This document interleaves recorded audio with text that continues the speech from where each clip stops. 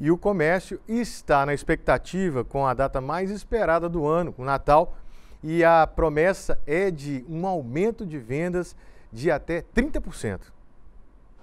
O Natal 2023 bate a porta e deve impactar cerca de 80% dos empresários do comércio varejista. É o que diz a FEComércio, Federação do Comércio, Bens, Serviços e Turismo de Minas Gerais. A data é a mais aguardada do segundo semestre, porque alavanca a economia. Esta loja de móveis e estofados está preparada para atender às expectativas dos clientes para o fim do ano. O aumento esperado é de 30%. Hoje as coisas começam a melhorar agora, virou mês, entrou o mês de dezembro, né? O comércio começou a melhorar.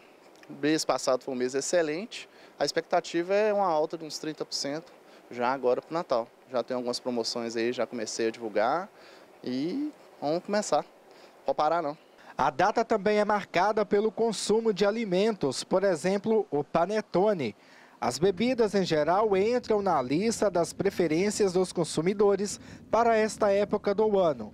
Mesmo sabendo que o brasileiro deixa tudo para a última hora, esta rede de supermercados já disponibiliza as novidades. Então estamos aí a todo vapor, já com mudanças de layout, algumas exposições, realmente focado já para o cliente antecipar essa, esse Natal, essa data tão importante. A confiança dos empresários para a data está ligada com a melhora do cenário econômico, além do pagamento do 13º.